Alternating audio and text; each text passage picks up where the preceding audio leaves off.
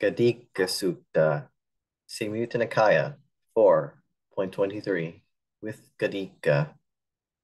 So I have heard. At one time, the Buddha was staying near Rajagaha in the bamboo grove, the squirrel's feeding ground.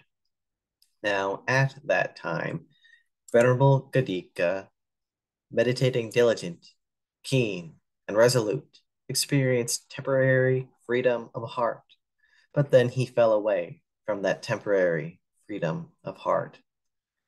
For a second time, Venerable Godhika, meditating, diligent, keen, and resolute, experienced temporary freedom of heart, but then he fell away from that temporary freedom of heart.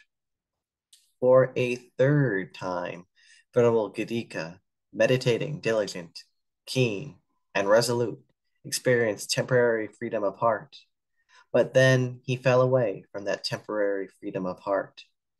For a fourth time, Venerable Godhika, meditating, diligent, keen, and resolute, experienced temporary freedom of heart, but then he fell away from that temporary freedom of heart. For a fifth time, Venerable Godhika, meditating, diligent, keen, and resolute, experienced temporary freedom of heart, but then he fell away from that temporary freedom of heart. For a sixth time, Venerable Godhika experienced temporary freedom of heart, but for a sixth time, he fell away from it. For a seventh time, Venerable Godhika, meditating diligent, keen, and resolute, experienced temporary freedom of heart. Then he thought, I've fallen away from this temporary freedom of heart no less than six times. Why don't I slit my wrists?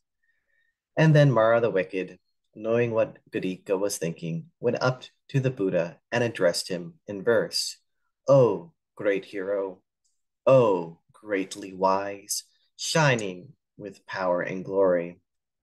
You've gone beyond all threats and perils. I bow to your feet. O seer, great hero, master of death, your disciple longs for death. He's planning for it. Stop him, O Lightbringer. For how, blessed one, can a disciple of yours, one who loves your teaching, a trainee who hasn't achieved their heart's desire, take his own life, O renowned one? Now, at that time, Venerable Godhika had already slit his wrists. Then the Buddha, knowing that this was Mara the Wicked, addressed him in verse. This is how the wise act. They don't long for life. Having plucked out craving, root and all, Godhika is extinguished. Then the Buddha said to the mendicants, Come, mendicants, Let's go to the Black Rock on the slope of Isigili, where Godhika, who came from a good family, slit his wrists. Yes, sir, they replied. Then the Buddha, together with several mendicants, went to the Black Rock on the slopes of Isigili.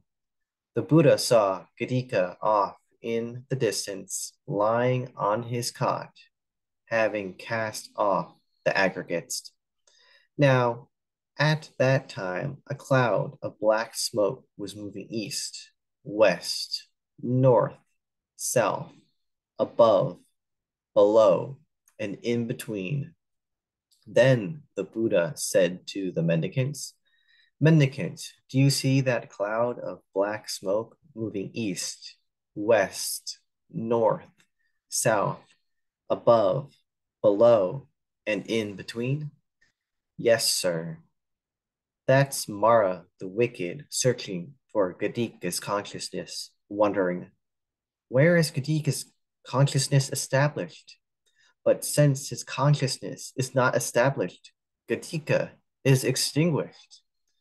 Then Mara, carrying his arched harp made from the pale timber of wood apple, went up to the Buddha and addressed him in verse above, below, all around, in the four quarters and in between.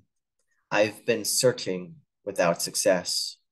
Where has that Godhika got to? The Buddha. He was a wise and steadfast sage, a meditator who loved absorption. By day and by night, he applied himself without concern for his life. He defeated the army of death and won't return for any future life. Having plucked out craving, root and all, Godhika is extinguished. So stricken with sorrow that his harp dropped from his armpit, that spirit, downcast, vanished right there.